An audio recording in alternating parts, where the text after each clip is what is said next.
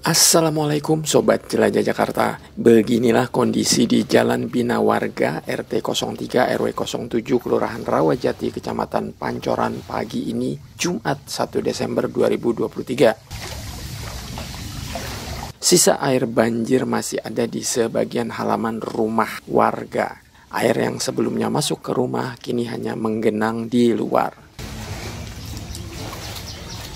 saya coba berjalan menuju ke tempat lain untuk melihat apakah ada sebagian rumah warga yang masih terendam banjir.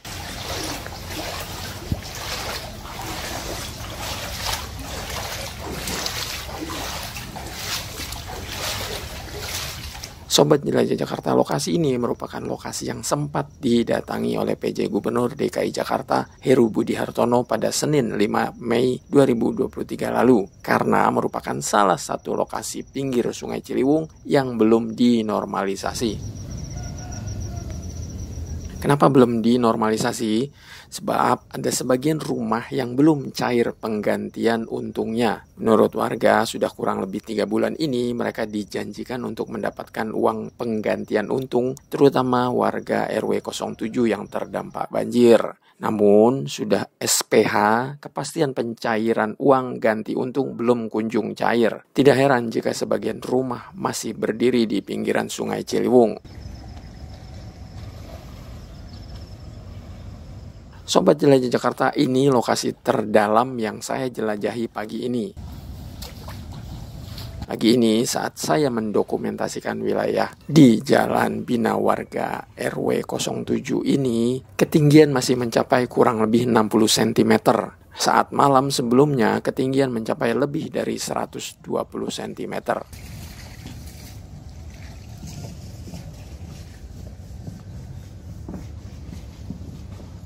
Sobat Jelajah Jakarta, wilayah Rawajati yang terdampak banjir bukan cuma di sini saja, melainkan juga di seberang flyover Jalan Raya Kalibata ini, yakni di Rawajati Timur RW 03. Maaf, saya tidak sempat belusukan ke wilayah tersebut.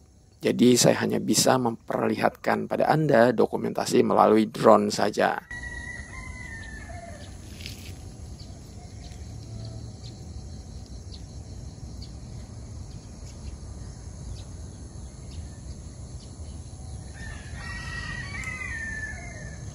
Sobat Jelajah Jakarta, saat menerbangkan drone ini, saya berada di seberang Rawajati Timur, yakni di Celilitan Kecil 1 RW 07 Kecamatan Keramat Jati, Jakarta Timur. Di lokasi ini sudah dinormalisasi dan dibuat jalan inspeksi sebagaimana Sobat Jelajah Jakarta lihat ini.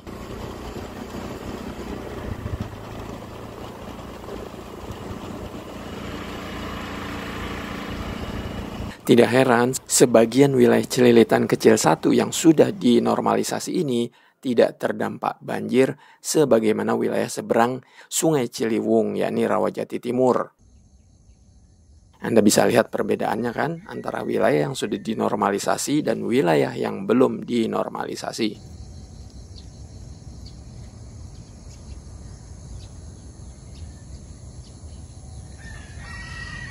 Sobat Jelajah Jakarta tidak jauh dari saya menerbangkan drone ini, ada proyek normalisasi Sungai Ciliwung yang sedang digarap oleh Direktorat Jenderal Sumber Daya Air atau Dirjen SDA Kementerian Pekerjaan Umum dan Perumahan Rakyat PUPR.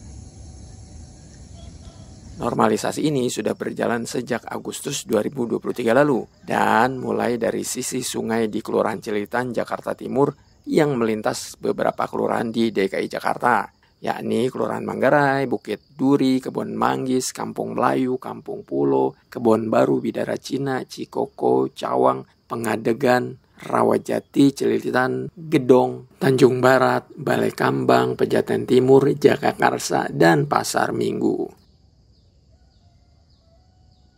Sobat Jelajah Jakarta, tujuan dari normalisasi adalah mengembalikan kondisi lebar Sungai Ciliwung menjadi 35-50 meter Pekerjaan ini meliputi pembangunan tanggul, perkuat tebing, serta pembangunan jalan inspeksi dengan lebar 6-8 meter di sepanjang tepi Ciliwung. Selain itu, pekerjaan juga mencakup peningkatan kapasitas tampung alir dari 200 meter kubik per detik menjadi 570 meter kubik per detik hingga penataan kawasan.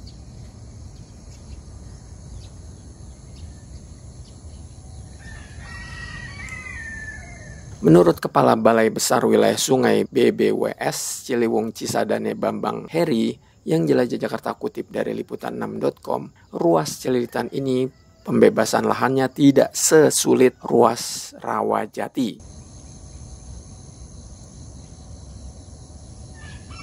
Makanya normalisasi 17 km dimulai dari sisi ini Sobat Jelajah Jakarta.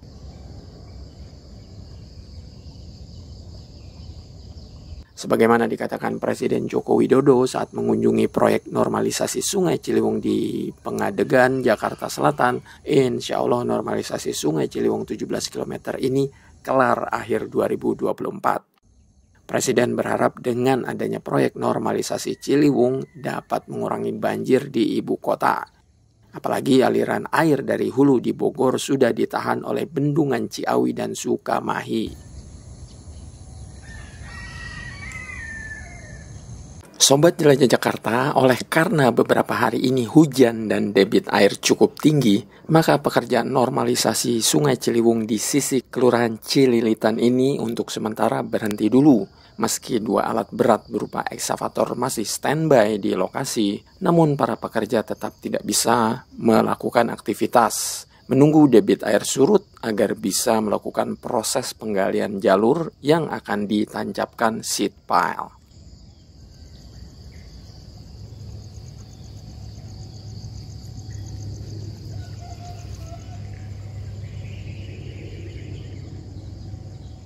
Sobat Jelajah Jakarta, demikian episode hari ini melihat kondisi wilayah Rawajati yang terdampak banjir hari ini dan progres normalisasi di sisi Kelurahan Cililitan, Jakarta Timur. Semoga informasinya bermanfaat. Wassalamualaikum warahmatullahi wabarakatuh.